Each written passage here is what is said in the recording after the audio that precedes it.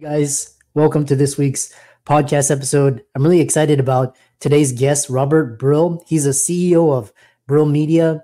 It's a media buying agency. He comes from Los Angeles, and I'm really excited about this show. Um, we're going to talk about business, advertising, marketing, and he comes from the city that does it all. So, Robert, welcome. Thanks, Christopher. Uh, honor to be here. Yeah, tell people your story and how you got started, and we'll we'll dive into it.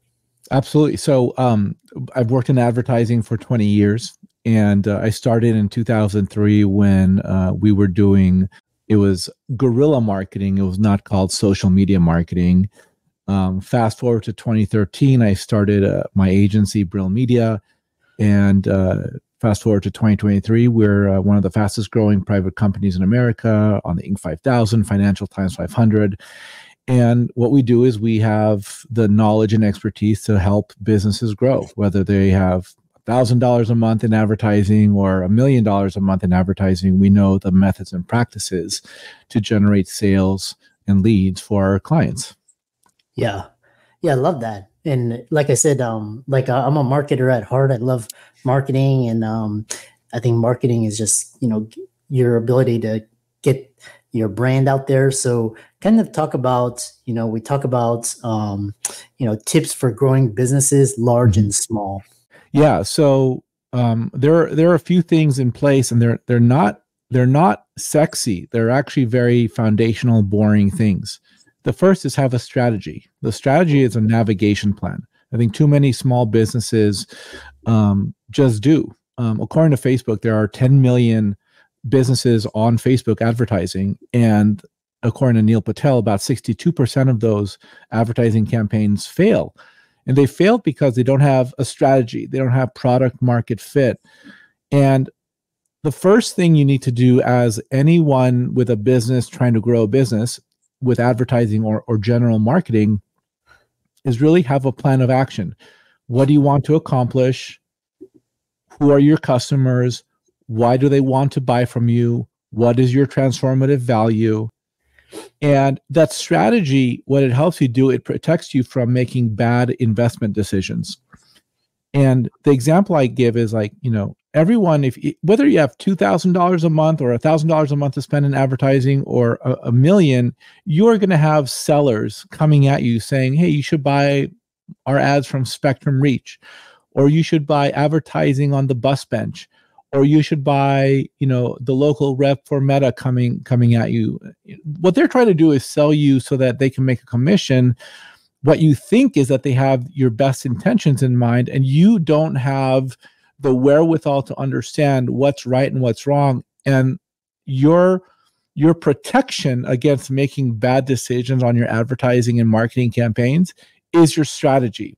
If it's part of your strategy do it if it's not part of your strategy, don't do it. And then don't get distracted by any any new shiny toys that come along the way. Yeah. I love that. Just, you know, stick to your, you know, focus, relentless focus. Um, then the other question is um, how to run advertising like a pro. Yeah. So the best thing you can do, no matter what type of business you have, unless you have an advertising business, there's a decent chance that you're not an expert in advertising. You put a car in front of me and tell me to change the radiator, um, I'll probably break it. um, if you have a, any physical ailment beyond a, a paper cut that requires a band-aid, I'll probably mess it up. You don't want me going anywhere near anything that isn't advertising. Picking up a hammer and, and fixing things, that's just not my deal. My wife does all that. Take it, take, you know, that's just who I am. But what I'm really good at is understanding the methods and practices that grow businesses in 2023. And so is our team. We have a team of um, 25 people. And the goal here is really have an awareness of what you're good at and what you're not good at. And think about your highest value work. The thing hmm. that is going to get you the most money back, the thing that is best for society that you can do if it's not advertising, you should outsource your advertising. So that's number one. The it's likely that you should outsource your advertising. And by the way, if you find a really good agency like ours, sorry to to be to be like that, but it's like we're we're really good at what we do. you know, our fees start at $500 a month. So if you have a thousand in advertising and you're willing to pay us $500 for $1,500 a month, you can get good advertising. If you still decide you want to do it on your own, there's a few things. Think about who your customers are and what do they want from you and whether or not your your product or service is communicated best with visuals or best with text if your business is good at being communicated with visuals, look at Meta, Instagram, Facebook. That's number one. If you have a product or service that people want immediately, like there's maybe some level of time sensitivity, like I need flowers for, you know, Mother's Day and Mother's Day is in a day and a half, like that's Google search. Okay. If if people can take advantage of your product and service immediately, or they can search for something that has an immediate like payoff and you can be there with that payoff, you should be doing Google search. The other thing is look at advertising on Facebook and Instagram as a single source of advertising inventory. It doesn't matter to me whether people buy your product off of Instagram or buy your product off of Facebook. What matters is that they are buying your product. So, one of the very important things for us that we do for our clients is we train Meta's machine learning algorithm to find your best customers. And the goal with that is keyword targeting on Meta is old technology. It's not the best way that Meta wants you to use their advertising platform. What they want you to do is broad targeting, age, gender, and location. You pair it up with a creative testing framework. And what you're able to do is tell give Meta the visual assets, the the ads, the the really cool messages that you have, you're able to give Meta enough of those such that they can get your ads in front of the right people. And I'll give you a really fundamental example of that. Our agency, Brill Media, a lot of our business comes as a white label media buying firm. And what that means is other agencies who do creative work, they do marketing, they do email, they do websites, they do all these different types of work. They trust us to do their advertising, their media buying. There's maybe five or 10,000 people in the whole United States that can possibly work with us as a white label partner, but many more businesses that can work with us outside of that. So we have messages that target 140 million people, which is nuts. But they're getting to the small fraction of individuals who have the ability to work with us. Why? Because Meta has the most powerful algorithm in the marketplace and we are training it to find our best customers. And every business, whether you're a doctor, a lawyer, a mechanic, a plumber, uh, you're selling products or services, you're a restaurant, you're a juice bar, whatever the case is, you can use Meta in that exact same way. But the thing is, you need experts who are dedicated to advertising to be able to invest your money appropriately to deliver that strong outcome for you. Mm. Yeah, very powerful, especially Meta and Google. Um, talk about uh, well, you're bullish on TikTok for marketing and advertising. Yeah. So think of TikTok as primetime programming customized just for you. So in the past, when there was no internet, uh, and and the way you got your entertainment, one of the ways was you watched you know television you watched abc or nbc or even cable television and every week at a certain time your favorite show would come on. Now fast forward to 2023 going into 2024 you have that exact framework but it's customized for you. And by the way you can watch your favorite programming anytime you want. You log on to tiktok you scroll and what ends up happening is the algorithm knows you so well that it gives you the programming that you're interested in. The value of tiktok both as creating organic content like posting videos to tiktok or running ads for tiktok with with inside tiktok is that you are your business gets to be part of that program. We run we create content for tiktok and we run ads for on tiktok.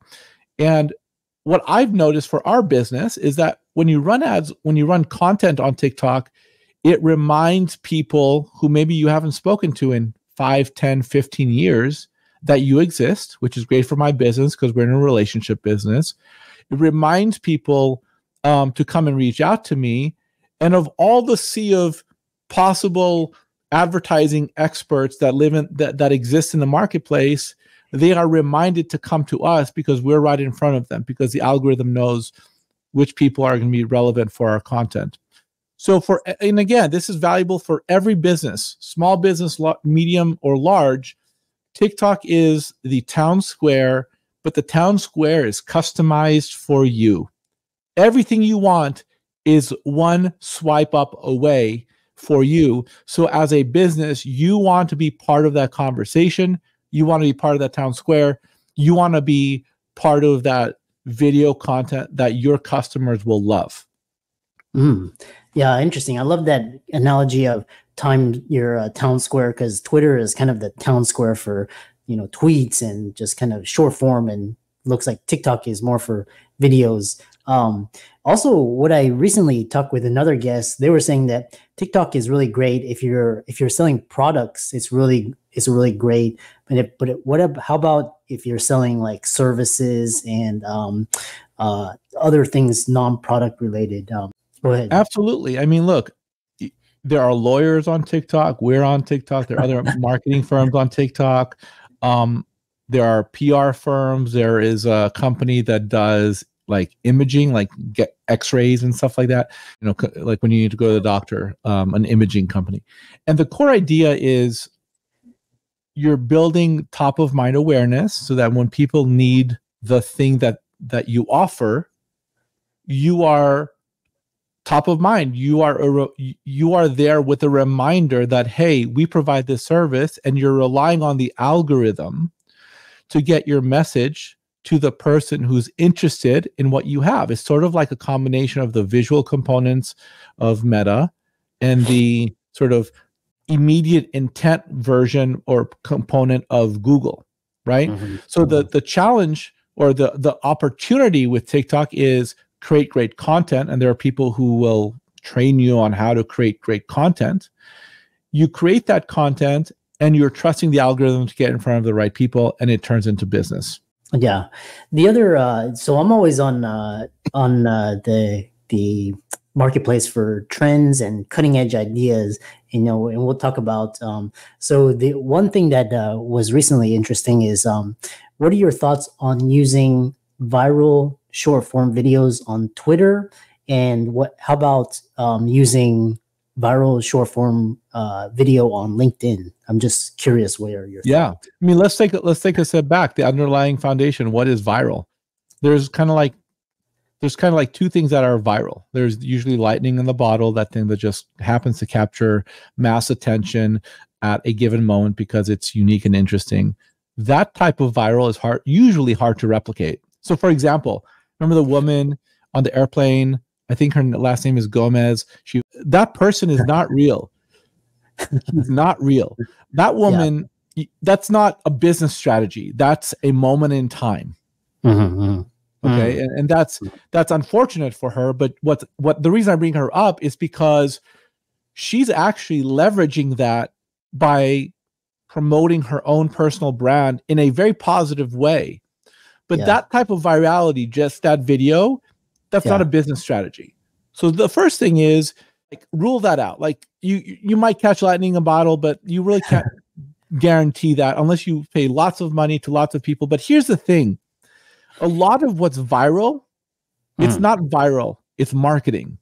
Mm-hmm, viral, mm-hmm. the the viral video in that equation is actually something that's been pushed. I'm not gonna I'm not gonna spend my time and money pushing a brand or a service. I'm gonna make this one piece of content big yeah. as part of my marketing strategy. And that is controllable. Mm-hmm. So every business has something that's some level of virality. Like I'm not talking about national vir- virality. I'm talking about local virality because let's be honest, most businesses, unless you're Hershey's or you know some of these bigger brands, you don't need millions of eyeballs and millions of customers. You need hundreds or thousands of customers that can make a big difference in your business. Yeah. So when we talk about virality, what we're looking at is when you post on TikTok, which video goes viral relative to your other videos. You know, not a lot of people are interested in white label media buying for agencies or how to optimize your uh, meta with machine learning algorithm. relative to the larger 340 million people in the United States. But, you know, 3,000 people might be interested in that. Mm-hmm, That's mm-hmm. viral compared to most of my videos that have 500 views on it or 200 yeah. views on it. Right. So the point is, viral is relative is, is relative to your other channels. And that's really creative testing, right? That's really understanding mm-hmm. which products and services and message your customers want from you at any given moment. And you find that out with a creative testing framework with advertising or with social media content posting. So then, absolutely take your best pieces of content and run them as ads. That is a key part of the strategy that works to generate more sales for clients.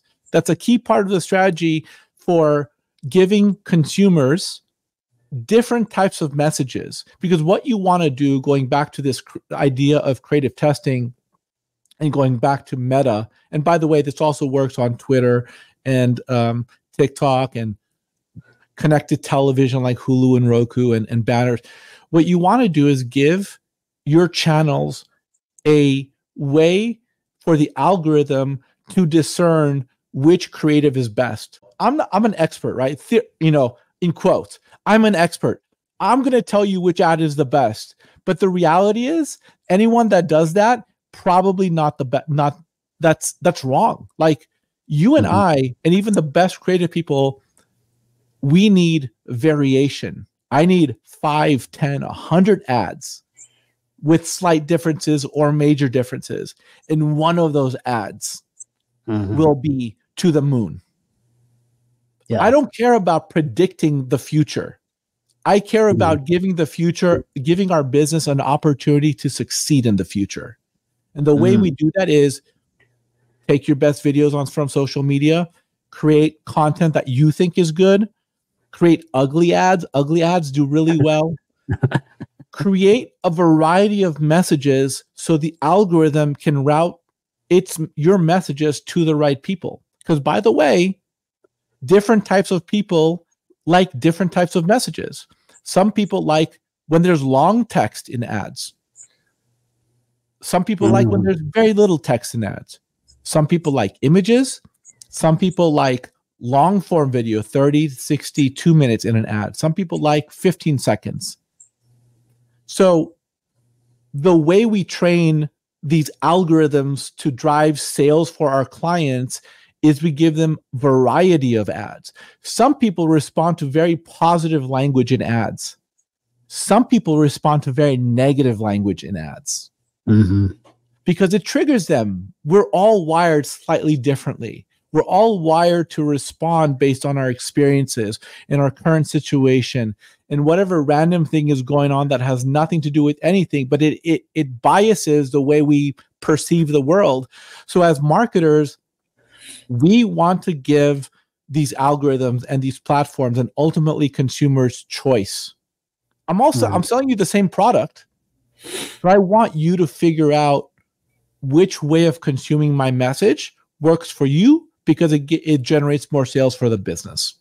Mm-hmm. Yeah, wonderfully said. Uh, I think we you know we covered a lot. You know, uh, talking about uh, local businesses start thinking about scaling the growth through advertising and kind of how should companies think about marketing and advertising in a very complex media environment? Um, if there's anything you wanted to add um, before we, you know, conclude, how can people contact you, follow you, you know, check out your your growth at Brill Media, you know, switching to Brill Media, etc.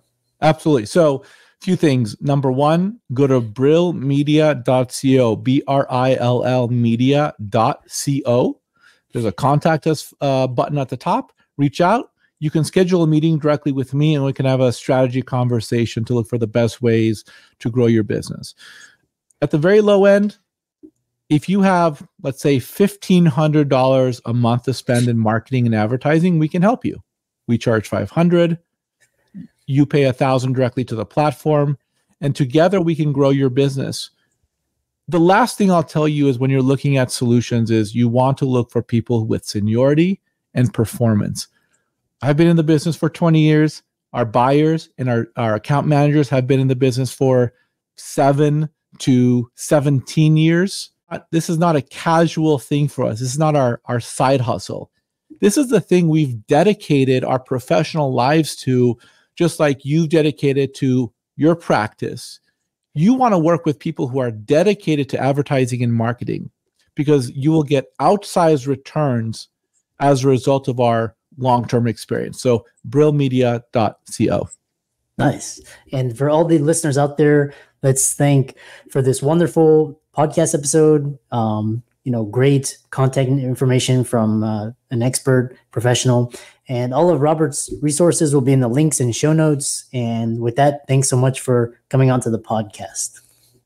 Thanks, Chris.